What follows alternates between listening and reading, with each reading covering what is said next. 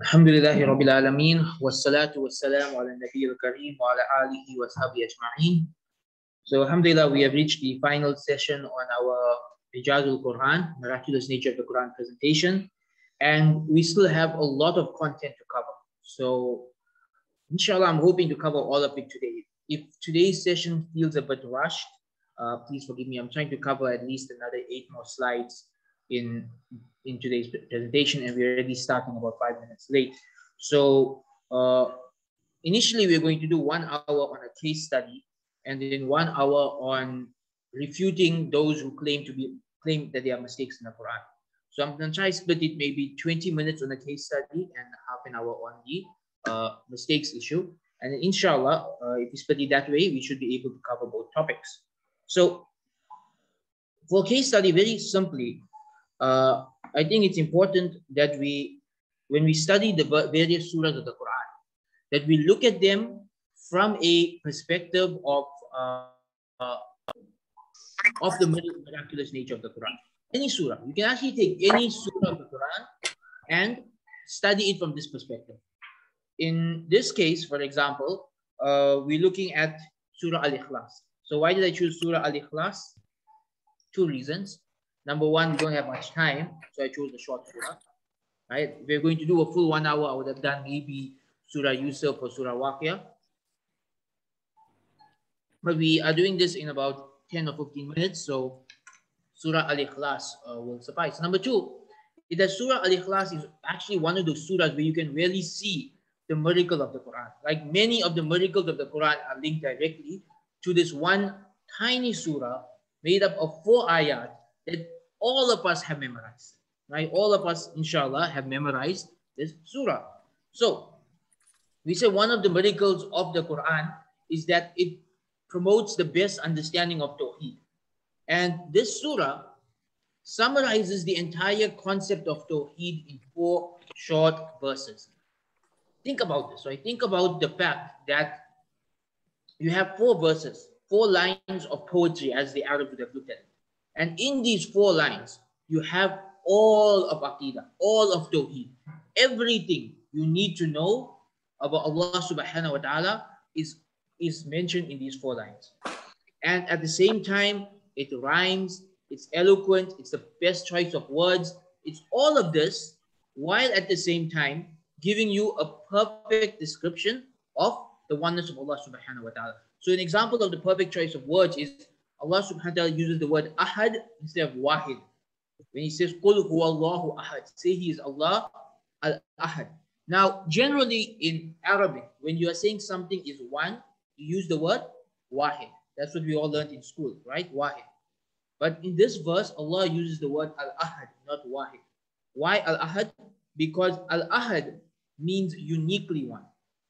When you say wahid, you mean like one out of a hundred, one out of a thousand, one out of a million. It's one, but out of something else. But when you use the word al, al-ahad, you are not just saying Allah is one, but you're saying that he is the only one in this specific category. So again, we have perfect choice of words. We have perfect poetry. All four lines rhyme. Allah is telling us there's only one God. There is nothing like him. He does not have any children. All of these various concepts related to Tawheed, which we have entire books about. Each of these concepts you have entire books about are summarized in four lines that rhyme perfectly, right? Then we say another miracle of the Quran is that it is easy for people to memorize even if they don't understand a single word of it. And this is a perfect example of that. Almost every Muslim in the world has memorized Surah Al-Ikhlas even if they don't understand a single word of Arabic, even if they, if they don't understand Surah Al-Ikhlas, they can recite it perfectly from their memory. Right? Why? This, this hifz of the Quran is part of the miracle of the Quran. Then there's the tafsir. We said that one of the miracles of the Quran is how deep each verse is. That you can have entire books on each verse of the Quran. Now look at Surah Al-Ikhlas. It's four verses. But Rasulullah sallallahu alaihi wasallam described these four verses as equal to one third of the Quran. And again, the ulama have said there's two meanings of it being one third of the Quran. The first meaning is that it is uh, that if you recite it three times, you get the reward of the entire Quran, right? That's the first meaning. But the second meaning of it being one third of the Quran is that the Quran's message is divided into three messages the oneness of Allah, uh, the afterlife, and the uh, risala of the prophets, right? These are the three parts of Aqidah. And one third of the Quran focuses on Tawheed, on the oneness of Allah. And the entire one third of the Quran is summarized in these four lines. So you can take these four lines and you can expand upon them with tafsir upon tafsir upon tafsir.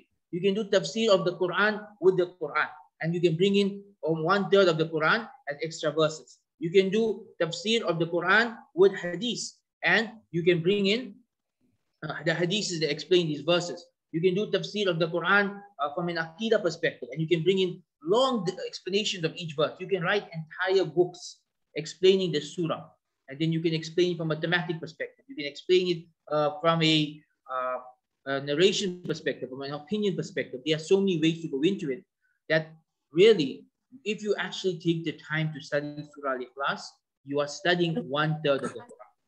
If you actually understand the Surah, you understand the message of one third of the Quran, which is there is only one God and there is nothing like him. He does not have any children and oh, yeah. is child of anyone. I'm seeing Ramadan Ismail. I haven't seen Finally, 20. we have that the uh, in the final uh, what if people are in and out about? No, you mustn't. Just, uh, remind everyone who's logged in online to just mute their. This rumor. Okay, so the message of uh, of the surah, finally, it agrees with the fitrah, and it is the most logical description of Allah Subhanahu wa Taala in any religion. You know how many people have converted to Islam just from this one surah? just from this one surah, when you read the biographies of people who have converted to Islam, you will find hundreds of people that just this one surah alone was enough to convince them that this is the true message of Allah. Why? Because the message of the surah, the description of God in the surah, matches exactly what's already in the human soul, what's already in your fitra. That your fitra doesn't believe in a God that is like a human being. Your fitra doesn't believe in a God that is uh, that, that is multiple in nature, or that has a father, or that has a son, or has a family. All of these are man-made concepts. Right? The fitra already has this idea that there's only one God and there's nothing like him, has no beginning, has no end. And this is the message of Surah Al-Ikhlas. So when you study Surah Al-Ikhlas, you see the perfect message of Tawheed. You see a message that matches with our fitra. You see a message that is perfect in its eloquence, perfect in its poetry and rhyming, perfect in its word choice, a message that can be memorized by anyone with ease, right? Even if they don't understand it. A message so deep that it's equal to one third of the Quran, and entire books can be written about it. And finally, what was the challenge given to the Quraysh? Produce one surah like it. Not a single pagan of Makkah took up the challenge to produce one surah like Surah Al-Ikhlas or Surah Al-Kawthar. We're not talking about producing a surah that's 500 verses long or 200 verses long. This is four verses. Could any of their masters of poetry produce four verses of equal brilliance and depth as these four verses? They didn't even try. They didn't even try. Why? Because they looked at this and they said this is not something that a human can invent. This is something beyond human abilities. And that's why those who still wanted to reject it, they called it magic, right? Because they couldn't come up with any human explanation for it. So you see, with one surah like Surah Al-Ikhlas, we have the all these different angles to come from. And you take your time and reflect on, you can break down word for word. You can look at the miraculous usage of the word kul, the miraculous, miraculous meaning of the word as-Samad. You can look at how Allah described that He has no children, noise, or anything like Him, and the wording used over there, how general it is, right? So, for example, the word used over there doesn't mean he doesn't he has no son it means he has no child right the word used includes both genders there are many words he could have used over there but he chose specifically the word that includes both genders. Why? Because the pagans of makkah believed that the angels were the daughters of allah. So this verse is refuting them. Meanwhile the christians had believed that jesus was the son of allah. And so this verse was refuting them as well. So it's refuting both by having the most generalized uh, choice of words, the most perfect choice of words that still somehow rhyme with the rest of the surah. And so like this, in one surah, we see the miraculous nature of the Quran. Now with this, we come to our final topic. And that is, you know, whenever we bring up this topic and we tell people about the Quran being miracle, we always get the, but, you know, uh, but I've been on a certain website on Google and, uh, you know, I, I found a thousand mistakes in the Quran, right? Or a thousand reasons why uh, the Quran is not from Allah. And you always get these questions coming from like from teenagers or people in their uh, early 20s who are discovering the, the, these things for the first time. So they get very shocked and very scared. And they're like, I found a website by a Christian preacher who claims there's a hundred mistakes in the Quran. We are finished. What are we going to do? You say, relax. These so-called mistakes have been pointed out throughout the ages. And they have been refuted throughout the ages. You will find a Christian preacher coming today and bringing a certain so-called mistake in the Quran. And you find a book written a thousand years ago that addresses the same point and says that some people are saying this is a mistake in the Quran. This is the explanation. Right? These aren't new things that they are bringing about. These are recycled arguments. And they are very simple ways to deal with it. Now, generally what we do is we take every single one of these examples, right? And we refute them one by one. What I want to do is teach you a methodology instead, a list, a checklist to go through that can help you to refute any argument that is raised against the Quran, right? A simple check, a checklist that will help you to refute any argument that is raised against the Quran. So the first thing is you don't always accept the premise of the other person, right? If the other person is telling you that this is a mistake in the Quran, you don't automatically say, oh, it's a mistake in the Quran. No, hold on what, they, what are they actually saying? You will find most of the time it's a mistranslation, right? That the translation they are using is wrong. The translation they are using is not what the verse actually means, or it's a misunderstanding. The Quran is saying one thing, they are understanding completely differently, right? Or they didn't study the tafsir of the verse, right? And this is very common. I mean, how many non-Muslims actually study tafsir? how many Muslims actually study tafsir, right? And you'll find many of these verses have been explained in the books of tafsir. So some of our tafsir authors, they, they focus on what they call the mushkilatul Quran, the difficult to understand verses of the Quran. And they would say that this verse, the Christians you know, think it's a mistake, but this is what it actually means. So when you go into the tafsir, you'll find, okay, there's a perfectly reasonable explanation for this verse, it is not a mistake. Then we have what I think is the most common today. I see this almost every day on the internet. And that is when a verse of the Quran or a hadith is clearly a metaphor or Arabic proverb or, or Arabic idiom, we have some people taking it literally. Right? And I'll give you some examples of that. Right? This is very, very common. People say, oh, I found a mistake in the Quran. And when you read it, it's very obvious that that verse is meant to be metaphorical and that person is taking it literal. Number five is a lack of understanding of Arabic eloquence and grammatical exception. So one of the things they like to do is they like to say that uh, the Quran has grammar errors and they make a list of grammar errors in the Quran. And this is coming from people who don't understand Arabic. People who haven't studied Arabic are pointing out grammar errors in the Quran. The problem with this is that Arabic grammar books were written long after the Quran was revealed based on the perfect grammar and eloquence of the Quran. Right? It's not the other way around. It's not like a thousand years before Islam, they, they wrote out the, the, the laws of grammar and then the Quran came to agree with that. It's the other way around.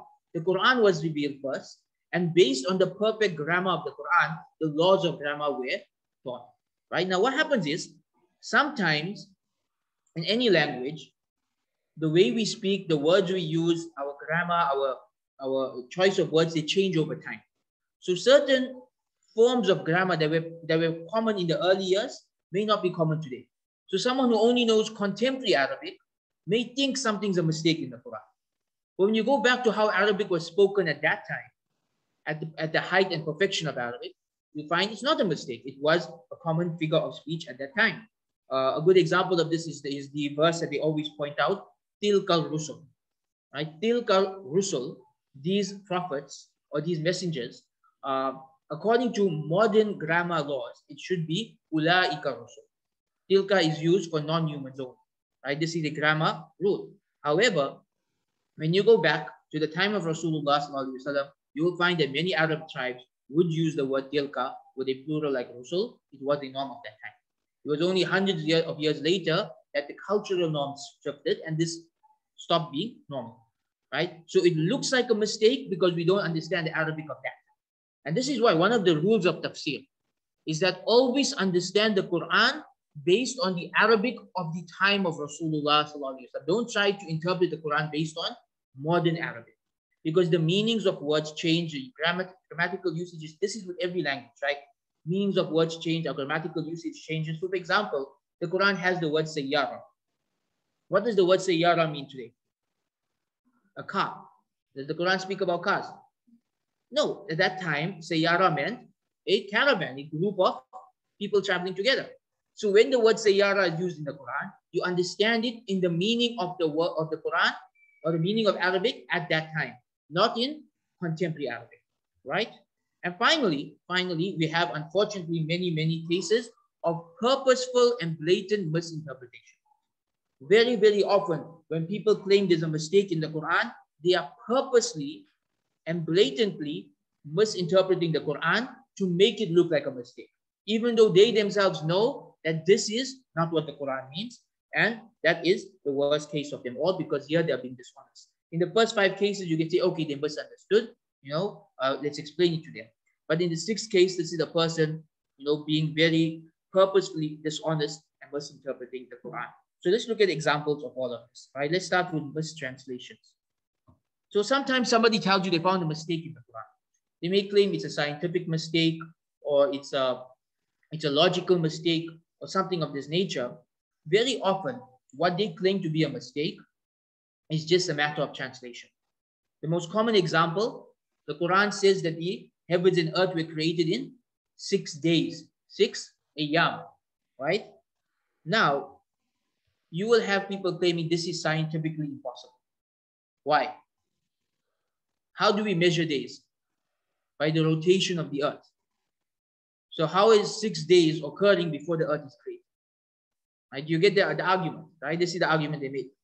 Well, when you go back to actual classical Arabic, and by the way, this is actually a point, even though it's being brought up today, by scientists, you actually find tafsir books written a thousand years ago that address this point.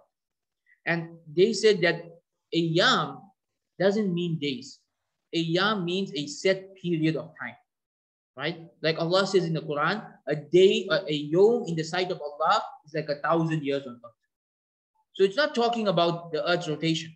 It's talking about a set period of time in the sight of Allah. It says the day of judgment is equal to 50,000 years.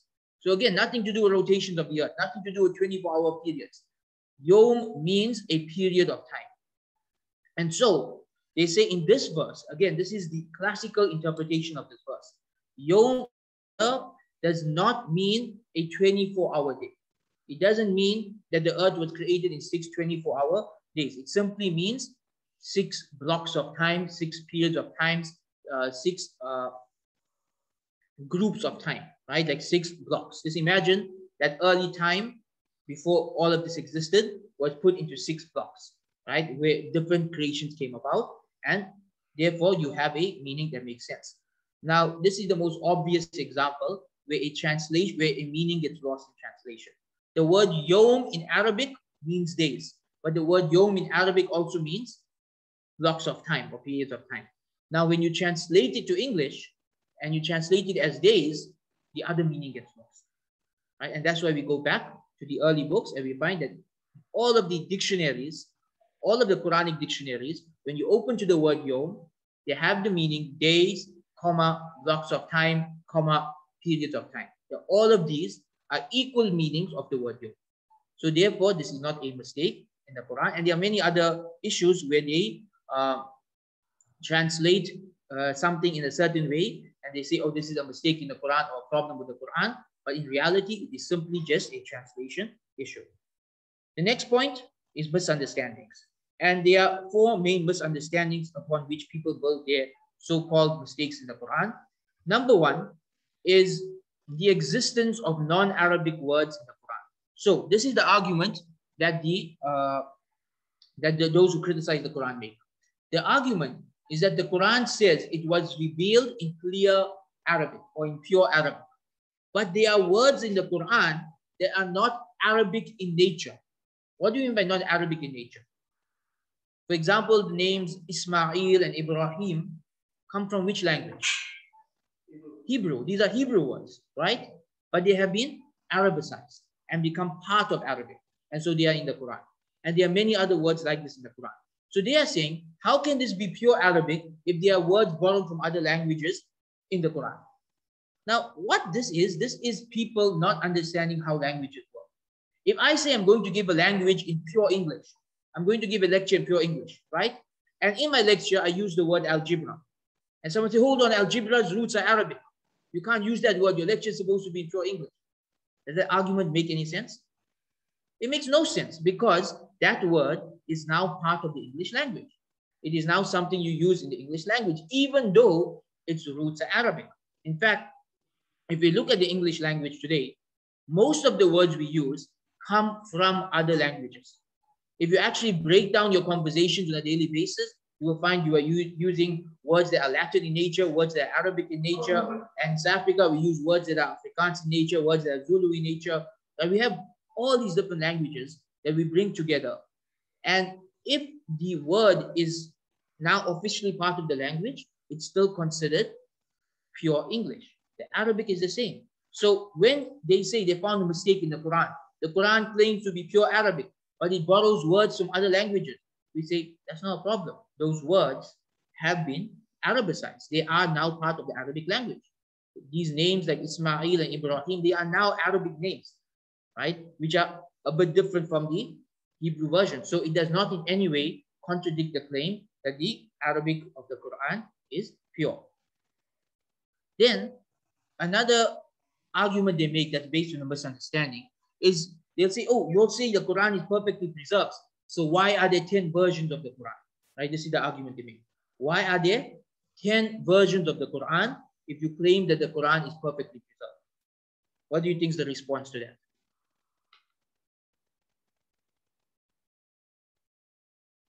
There aren't 10 versions of the Quran.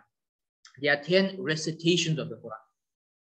And the perfect preservation of the Quran is so perfect that all 10 recitations have been preserved word for word with perfect tajweed, with full chains of narrators from people today going all the way back to the Prophet. It has been preserved in all 10 forms. Now, one of the reasons they can't understand this is because the whole, the whole idea of 10 recitations of the Quran is a otherworldly concept. It's not something that humans invent or humans do.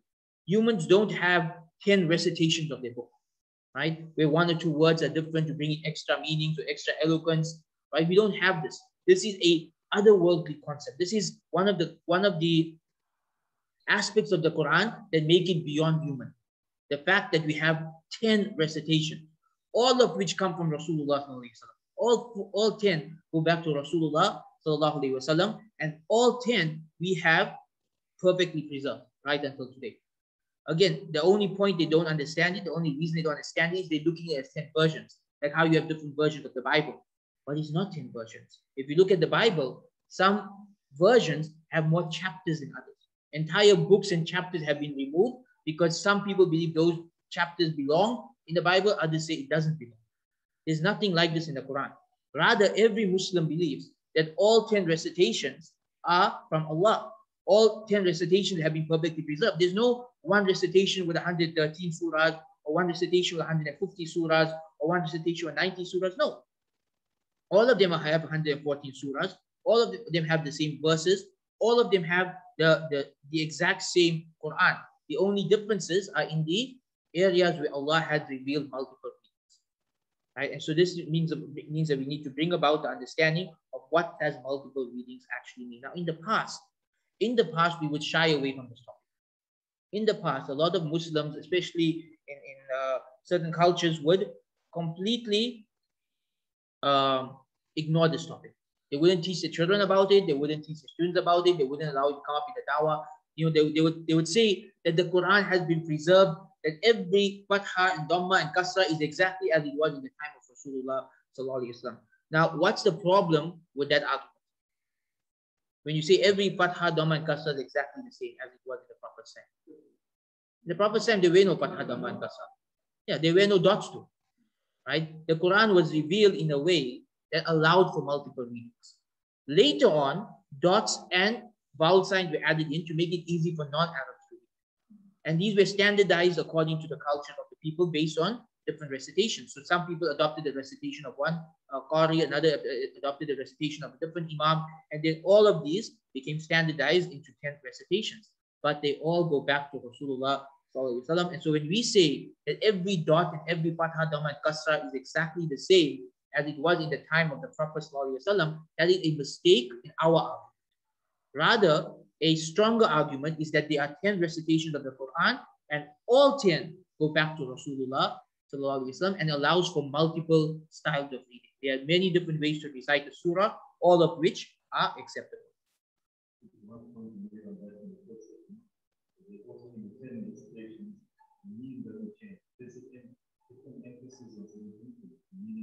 The meaning does change in a few verses, but it's complementary meaning, not contradictory. Yeah, it's complementary, not contradictory. So again, we shouldn't say the meaning doesn't change because then say, hold on, Surah Fatiha, Malik Yomidin and Malik Yomidin have two different meanings. So we say it's, it, the meaning changes sometimes, but it's complementary. Malik Yomidin, master of the day of judgment. Malik Yomidin, king of the day of judgment. There's no contradiction there. Allah is both. Part of Allah's infinite uh, kalam and his perfect recitation or, revelation is that instead of revealing a double verse, instead of revealing Malik Yomidin, Malik Yomidin, he just revealed this one verse in two ways to give us two of his, uh, two, uh, two of his attributes in one go, right? So there are multiple meanings, but they complement each other. And this is a huge miracle. 10 recitations of the Quran with slightly different meaning, and you still can't find a single contradiction between them. That's humanly impossible for anyone to put together something of this nature. Okay. The third argument they make is that they claim to find contradictions in the. Now, again, this is an area where a lot of us get flustered. A very simple argument against the so-called contradiction in the Quran. We need to define what is a contradiction. If we don't define what is a contradiction, they can be calling something a contradiction, but in your mind, it's not a contradiction.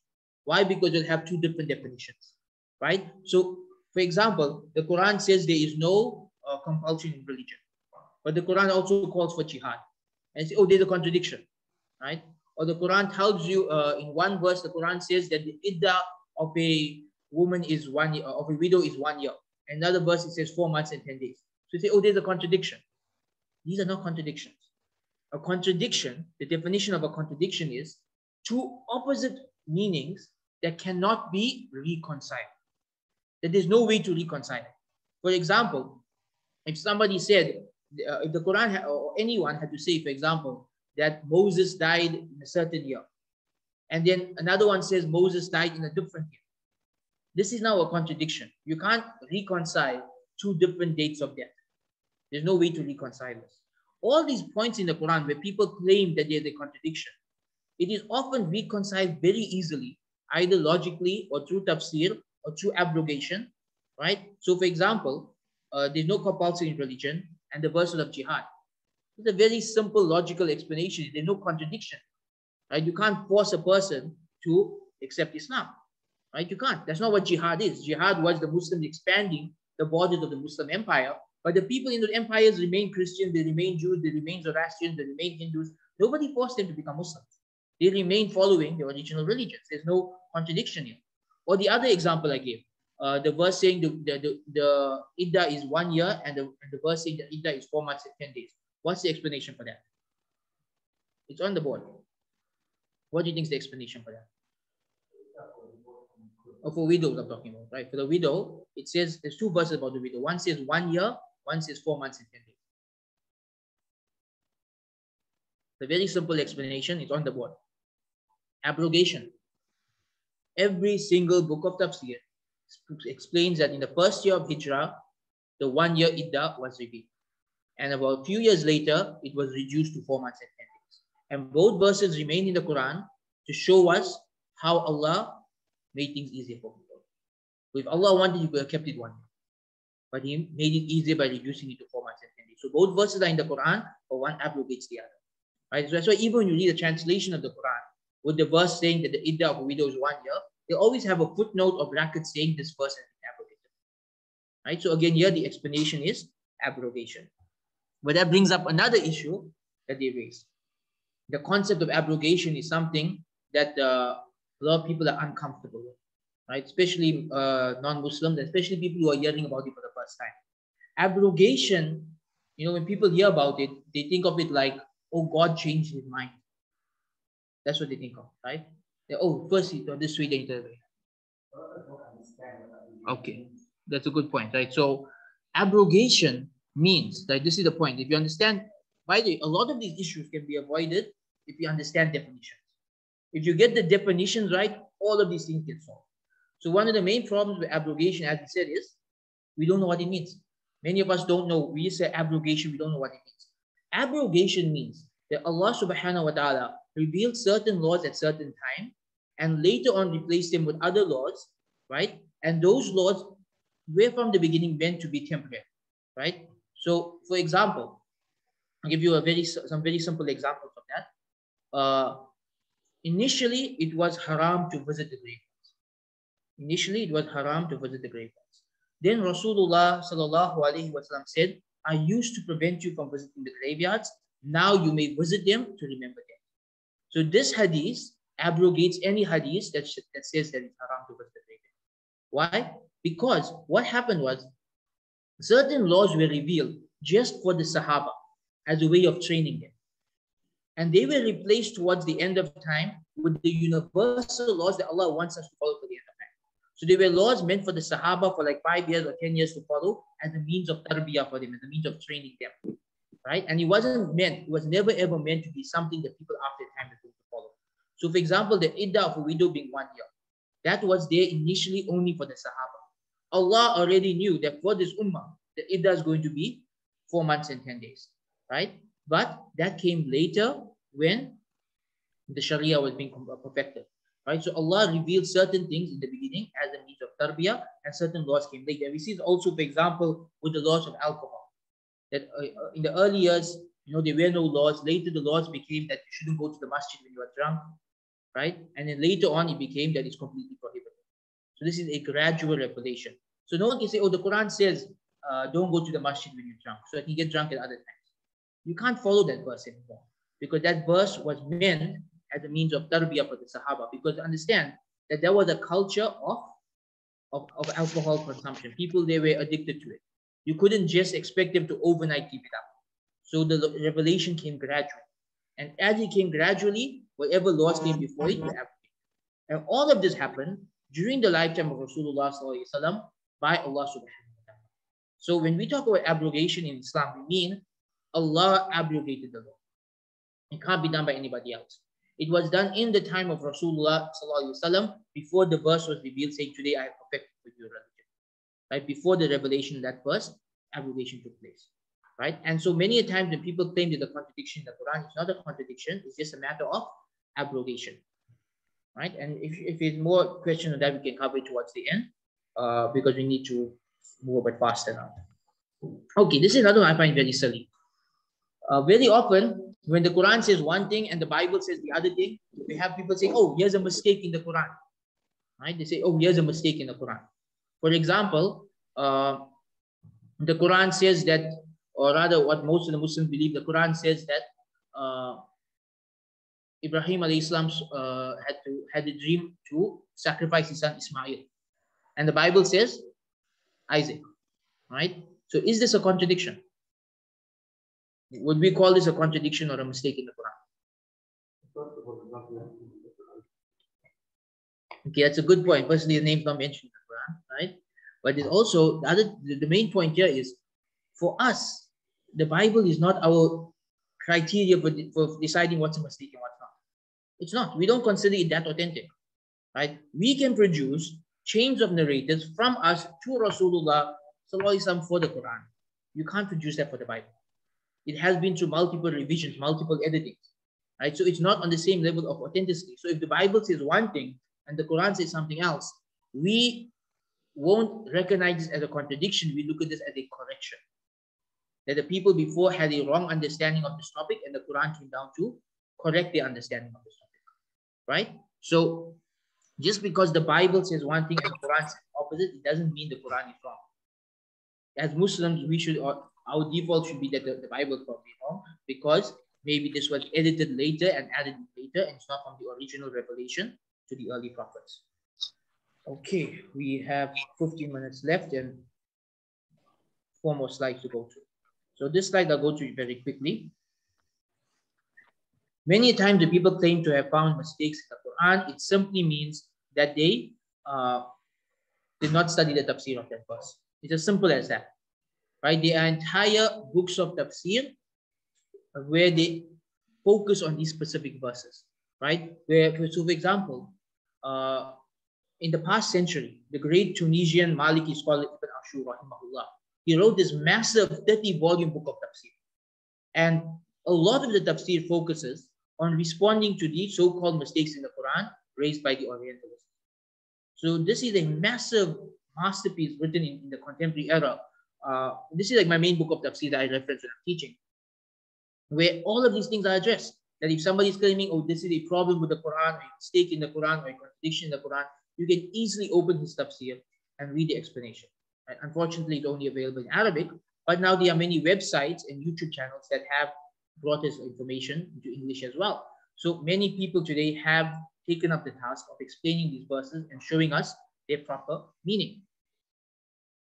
The thing about Islamic scholarship is that they never hid these things. Right? If a verse of the Quran seemed confusing, if it seemed difficult to understand, uh, if its meaning seemed problematic, the scholars throughout history, they never hid it.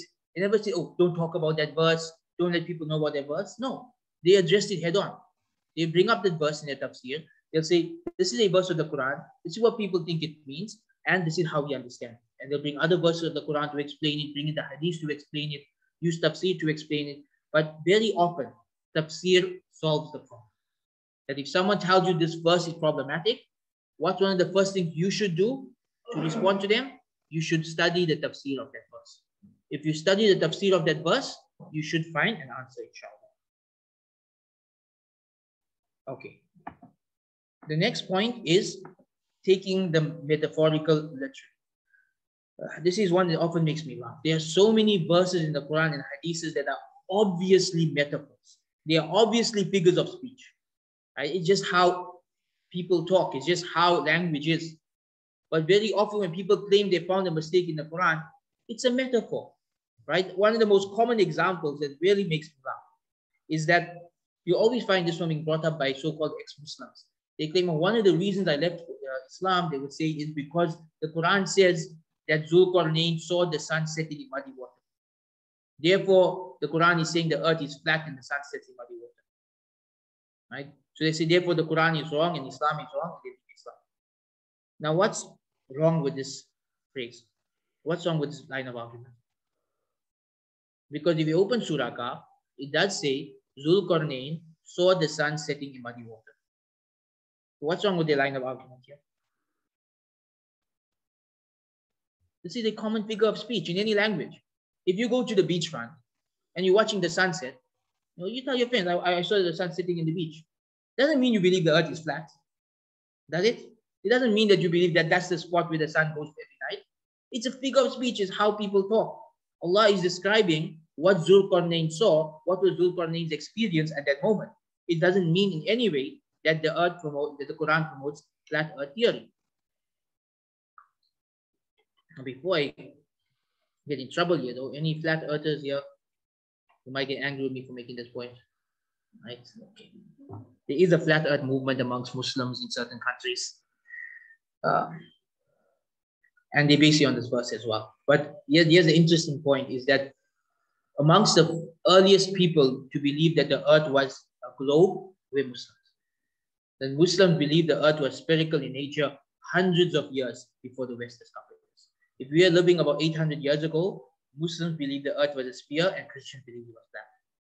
Why? Because Muslims had no problem going to the science and did not see it in any way as contradicting the Quran. Okay, here's another metaphor that they take uh, very literally. Uh, when Maryam Islam's people address her, they say, Oh, sister of Harun, how can you do this? So they say, Oh, this is a mistake in the Quran. It's calling Mary the sister of Aaron. Again, this is a figure of speech. That it is an honorary title that you call someone sister of or brother of one of their famous ancestors. Right? This is a common figure of speech in Arabic.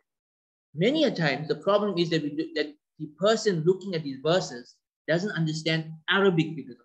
They may understand English figures of speech, but every language has their own figures of speech. They have their own metaphors, their own similes, their own idioms. Every language has this, not just English. So you have to understand that language's figures of speech in order to understand what these verses are saying. And if you do that, there's no problem, right? That O sister of Harun doesn't mean that she was the sister of Musa salam. It means she was a descendant of, of, of that family, right? And this is a honorary title given to. So it's again a figure of speech being taken literally. And my, finally, we have the nowadays, you know, very blatant misinterpretation of the Quran to make the Quran look bad. The most common one, kill them wherever you find them. Right? This is Surah Tawbah. I think it's verse 6. Uh, you always hear them saying this, oh, these Muslims, the Quran tells them kill them wherever you find them. And it's very obvious what this verse means, where it was revealed, why it was revealed, what it was revealed for. Even the people who are saying this very often, they know this, but they ignore it because they want to paint a picture of Muslim being bloodthirsty murderers, right? So what's the meaning of this verse? Can anyone explain it to me? This verse, kill them wherever you find them. What's the point? What's the purpose? Whether, how do you explain it? Yes, this is a wartime verse. It was revealed during a specific war, during a specific battle, as a group, as an instruction to dealing with a specific group of people. That the Prophet Prophet's peace treaty with the people of Makkah had just been violated, and they were marching now to go and respond. And this was revealed specifically for the enemies for that battle. It's not a verse that you follow in every context, in every place until the end of time. This is a very specific verse. It doesn't mean that any Muslim anywhere in the world killed anyone find it. No one in the history of Islam has ever understood it this way. No one, right? Because when Muslims conquered lands, they left the people there to follow their religions. I mean, how long ago did Islam reach India? Does anyone know? All the way back to the first century of Islam. In the time of Walid ibn uh, Walid the First, when Muhammad ibn Qasim led his army to parts of India. Right, some Indian pirates had kidnapped some Muslim women, and Muhammad ibn Qasim led his army in there and took over those lands, and those lands became Muslim lands. And over the years, we've had the Delhi Sultanate in India, we've had the Mughal Empire in India. It was ruled by Muslims for hundreds of years, yet still has a majority Hindu population. Why? Because we don't take this verse literally in the way they take. We don't kill them wherever we find them. We let them be. We let people be, right? We introduce them to Islam. We do dawah. We rule by Islam. We have Sharia law. But people are free to follow their religions. And this is why you have Christians in Syria, in Egypt, whose ancestors go all the way back to the time of the Sahaba. Because from the time of the Sahaba until now, they have been living in peace, practicing their religion in peace. Because this verse does not mean what our, the enemies of Islam want people to think Another similar example to that, the verse in the Quran, do not take the Jews and Christians as allies. Often they translated, again, verse translation comes in here. They translated as do not take Jews and Christians as friends. Right? This is again a wartime verse talking about alliances between nations. Right? You cannot ally with a Jewish or Christian nation against Muslims. I they say don't say that to certain countries today, but uh, people are getting banned from going to those countries, so don't need to mention, right? But Muslim rulers need to know you don't form alliances with the enemies of Islam and Muslim. There is consequences to this and it is completely haram. It doesn't mean you can't be friendly to Muslim, non-Muslims. It doesn't mean you can't be kind to non-Muslims. It doesn't mean you can't have a non-Muslim pal at school or at work. It doesn't mean anything like that. This is talking about military alliances. That's what this verse is talking about, military alliances against Muslims right? So again, it's a matter of purposeful misinterpretation or in some cases, just simple mistranslation. So Alhamdulillah, we come to the end of the session. And to summarize what we've studied over four hours, we've learned that the miracle of the Quran is multidimensional. In the past, many of us would look at it as either scientific miracle or nobody can write any book like it. And those would be the only two angles we look at it from.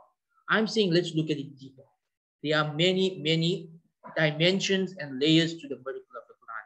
From its poetry to its wording to its effects on the hearts of people to its impact on society to its agreement to the fitrah uh, to its descriptions of the past to its predictions about the future.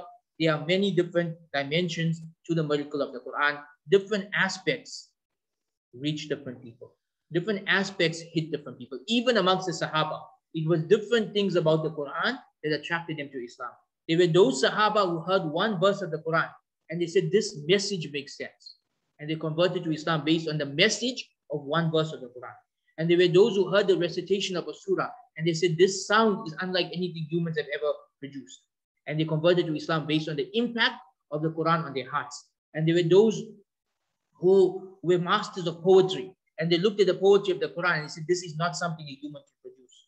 So every aspect appeals to different people. And we want to reach people with the miracle of the Quran, if we want to get out there and really get this message to people, then we have to approach it from a multi multi-layered approach. You can't just take one aspect and expect that to appeal to everyone. You have to bring in different aspects based on the person's personality, based on the person's interest, based on what that what stage of life that person is going through. Whether it's dealing with the Muslim youth or whether it's dealing with non-Muslim dawah, we have to bring in a more uh, multi-dimensional approach to Ijaz al-Quran.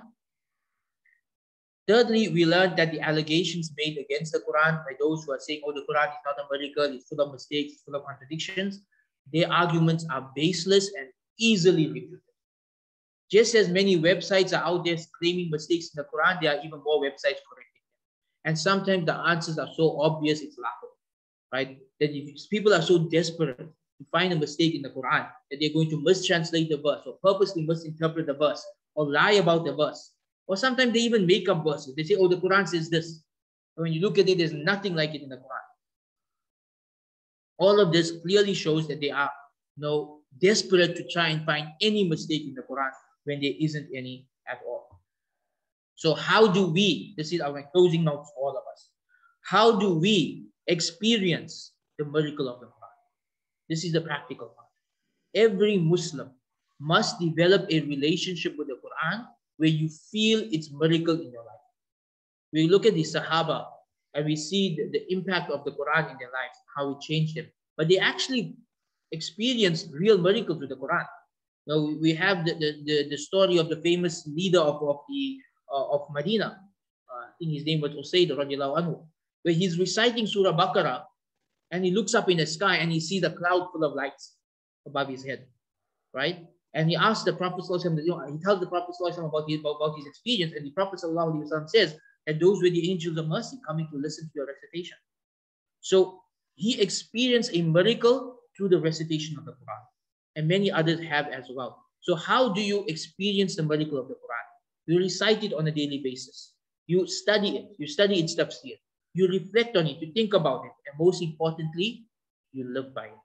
If you live your life by the Quran, you will more and more see and experience the miracle of the Quran in your life in so many different ways.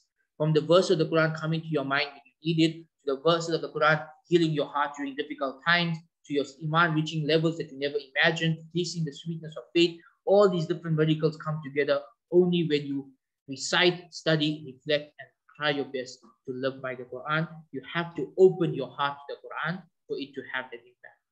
At the end of the day, Allah subhanahu wa ta'ala tells us in the Quran that it is a guidance for those who have taqwa, for those who are conscious of Allah. And Allah subhanahu wa ta'ala says, whoever seeks guidance, Allah will guide. So if someone's heart is closed to the message of the Quran and the miracle of the Quran, no explanation in the world can ever convince them. Why? Because they've closed their heart to it. They have no intention of listening to it. But if someone is sincere, if someone is sincerely seeking the truth, whether they are Muslim or not, and they sincerely engage with the Quran and study the Quran and reflect the Quran and think about the Quran, they will find it to be the strongest evidence that Islam is the true religion. And therefore, it is very important when we are doing our dawah that we bring in the Quran and we bring in the miraculous nature of the Quran and we focus on this in our dawah. With that, we come to the end. If there are any questions, we can take them now.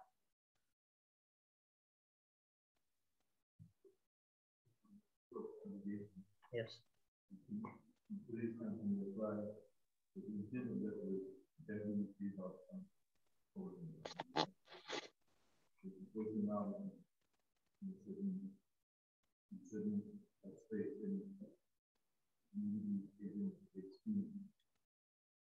Well, we say the cutoff point is when the verse was revealed today, I perfected for you your religion, right? In the last year of the Prophet's life.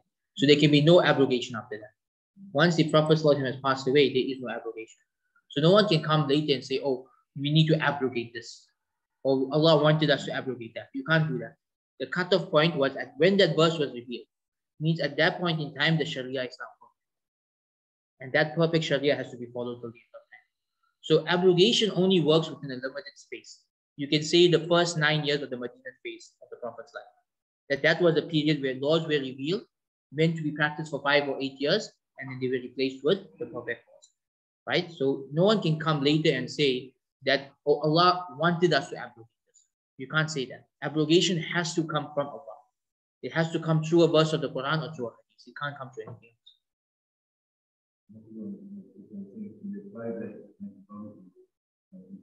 You mean like in dawah or?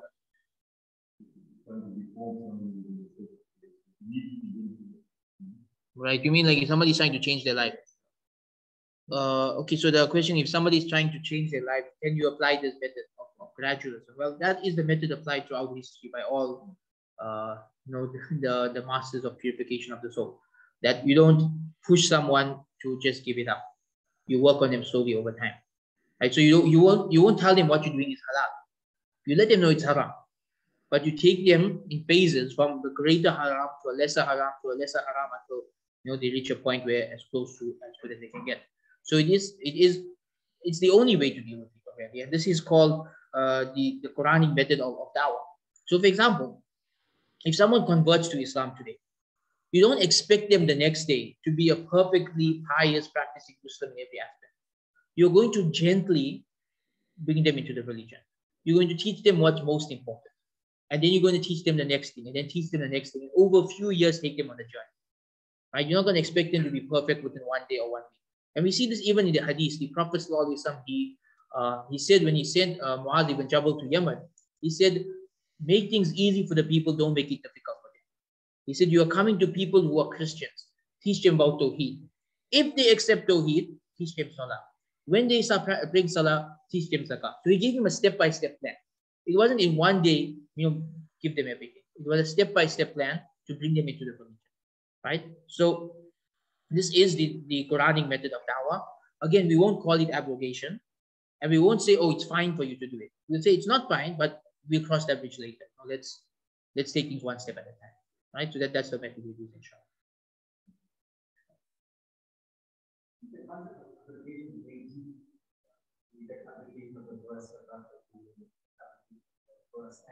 Yeah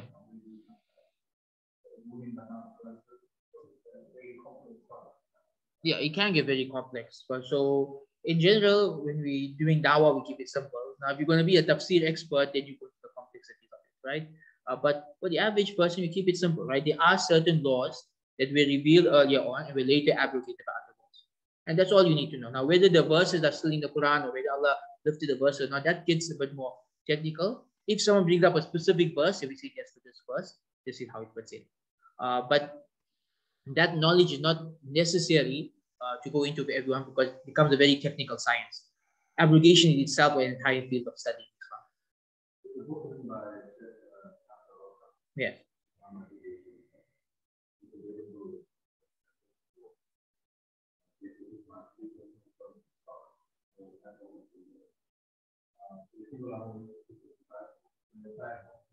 Okay, inshallah.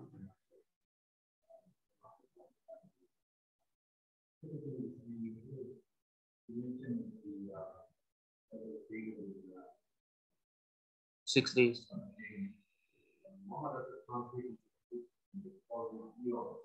Yes, that's a, a better translation. Yeah, it is a better translation. Yeah. So again, you know, many times things are just lost in translation, right? Uh, and the other example of that that we mentioned earlier was, uh, yeah, allies or friends, right? When people translate it as do not take Jews or Christians as friends. Yeah, it's a translation issue. Awliya doesn't mean friends only. It means allies. That's hmm? Yeah, it has many meanings. There's multiple layers, right? So Allah says, aman. Allah is the wali of the believers. It doesn't mean friend in the sense of how we know friends. It means he's our guardian and protector. So that has a completely different meaning. So the word has many different meanings.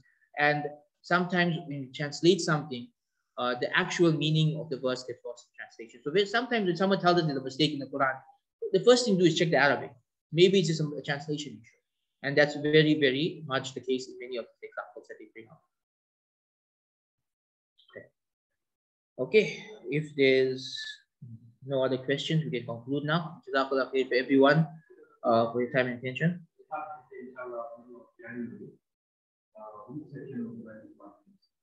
The next topic. I'd like to tackle proofs of prophethood next because it continues from this. All the proofs that Prophet Muhammad was the true prophet. So we covered one of these proofs, which is the Quran. But there are other ways to prove that he's a true prophet, right? So I'd like to do four to six sessions on that, inshallah. Okay, so inshallah, we really start in January. We do four to six sessions on proofs of prophethood. And by the way, uh, at Yaqeen Institute, we have put together a curriculum for high schools on proofs of prophethood and the miraculous nature of the Quran. It's free to download from our website. Uh, they really help you to teach this at the high school level for children. And inshallah, we should have a book on the proofs of prophethood coming out early next year as well. Okay, so with that, we will conclude. سبحان ربك رب العزة عما وسلام على المرسلين والحمد لله رب العالمين.